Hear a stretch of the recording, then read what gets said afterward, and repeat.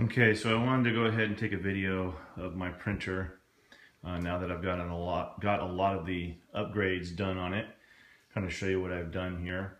Um, the framework is made out of six millimeter uh, five ply plywood, which is a, a, really good grade plywood, with the exception of the top, which the top is a six millimeter smoked acrylic, and then the two side windows and the front door are made out of three millimeter clear acrylic.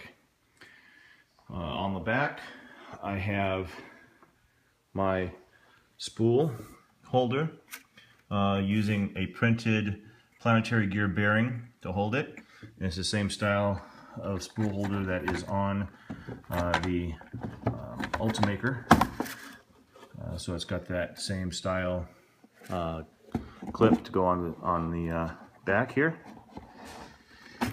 And I'm using a Wade's geared extruder that I have set up as a Bowden style. So I just go ahead and put a quick coupler in there. The top is set up to have uh, two extruders on it. So if I want to do dual extruding, I can. As far as connections in the back, I have my power supply uh, connection that I just uh, stole the plug and the switch out of a uh, PC power supply, which bolted in very nicely.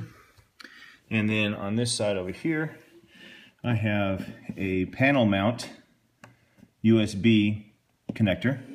So that makes everything connect nicely without having to remove any panels.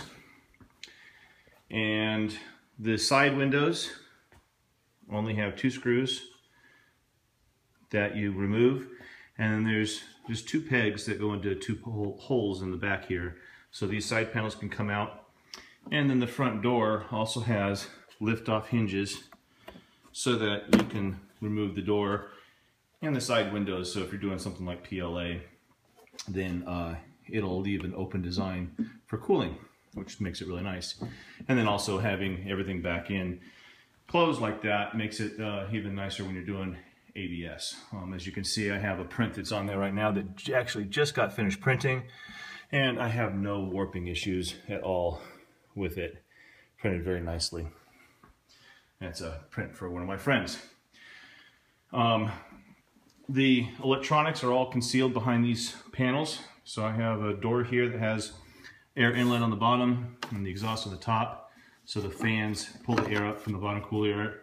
Cool air comes in from the bottom and goes up, goes out the top. So this is my power supply. I'm using a 33 amp, which is, I know, overkill, but it works nice, doesn't overheat. These going the same way as the windows. There's just a peg that's on the panel, slips into the slot. And then there is a notch cut in the back, which then the uh, door just goes ahead and fits in that notch and then screws in with a three, three millimeter screw. On the other side, have the same setup. This is for the electronics. I have a standard Arduino Mega with a RAMPS 1.4 board on top. And then I also have a Raspberry Pi, which isn't hooked up yet. Um, my fans for cooling, which I don't have those hooked up because I actually want to get some new fans that are a little bit quieter. And this is set up so that you can either plug in an external computer, uh, which is what I have it plugged in right now, or you can use a Raspberry Pi. And to do that, I have a USB switch that I've mounted on the back of this panel that allows two computers to be able to control one peripheral. So that's how this is set up. And you can see this on the front. This panel clips in the same way with the two pegs and the holes. And then there's this button right here. There's two LED lights. The blue is external, and then this one's green if it was actually hooked up to the Arduino, which it's not right now. When you push this button, it would light up green. You saw it flash there for a second. And then when you push it in, it goes to the external. So you can choose whether you want external or Raspberry Pi with Octoprint. So that's the outside.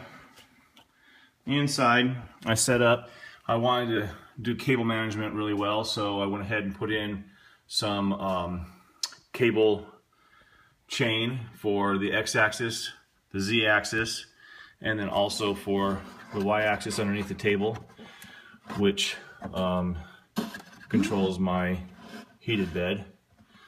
Um, the micro switch for my x-axis is embedded, mounted inside of one of the Z carriages, um, so that uh, you don't have it sticking out in the open. I also have clamps. Um, you can see on the back side how that uh, belt goes in to that clamp in the back. It clamps both ends of the belt so you don't have to use zip ties to make, create loops on the ends of the belt and then another zip tie to you know draw the ends of the belt together.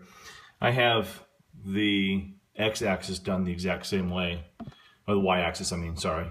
Um, that also allows me to put really a lot of tension on there since I'm not using zip ties to put the tension. So this I have a I have a screw right here that I can go ahead and I tighten up this uh, mount right here and this allows me to go ahead and tighten the belt which gives me a, a fairly tight uh, belt on both axes. So uh, have this one done the same way. There's a screw on this side right here that allows me to tighten this up. And then these two screws here are to keep the uh, the two rods from pushing in through the hole. that was uh, prevalent in the Prusa i2 and it would bend the, the Z rods. So that took care of that. And then I have in the very back, I have a uh, I have a cable cover that you can see um, cover, covers the cables coming from the power supply across to the electronics and then that's the micro switch for the y-axis and then I have a mount for the cable chain for the y-axis as well for the table, the heated bed. That all goes into that cover and then over into the electronics. Keeps it nice and clean, don't have any wires sticking out anywhere. for my auto bed leveling, I have a solenoid that activates the switch. So when that solenoid comes down, it activates or pushes down the switch and then that pin is actually lower than what the nozzle is. So it allows for the, um, the leveling. So let me go ahead and, and do that really quick. So you can see what it looks like. So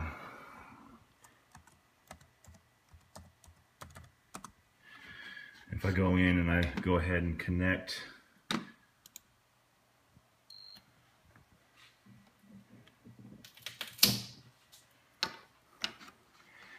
And then if I do uh, a G28 for auto home and turn it on.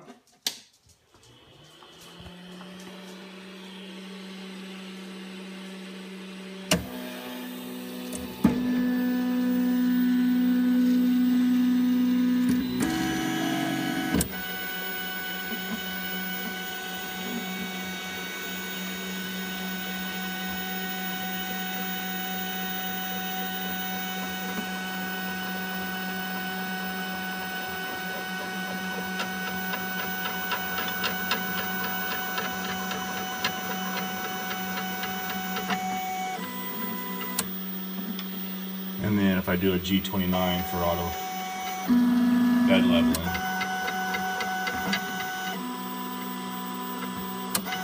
You can see that it doesn't have to move very much.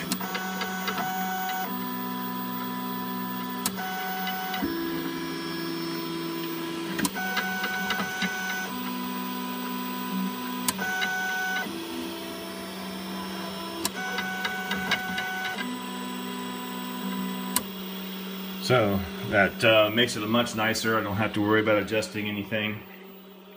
Um, everything is nice and tidy inside.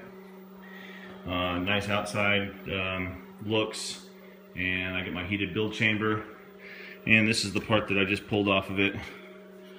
So you can see that uh, I'm getting, you know, pretty nice prints off of it. I'm really happy with uh, the look of everything. So that's my uh, Prusa i3 iteration um, home built that's been modified for uh, the things that I wanted to do to it. So I'll go ahead and post this, and um, eventually I'm going to go ahead and uh, get the files doctored up and put those up on um, the internet so that anybody who wants to build this design as well uh, will have the plans to be able to go ahead and do it. So go ahead and uh, like my video if you like it. Uh, comment below. I'll try to get any of the comments and try to keep up on that and uh, answer anybody that uh, leaves me comments. Until later on.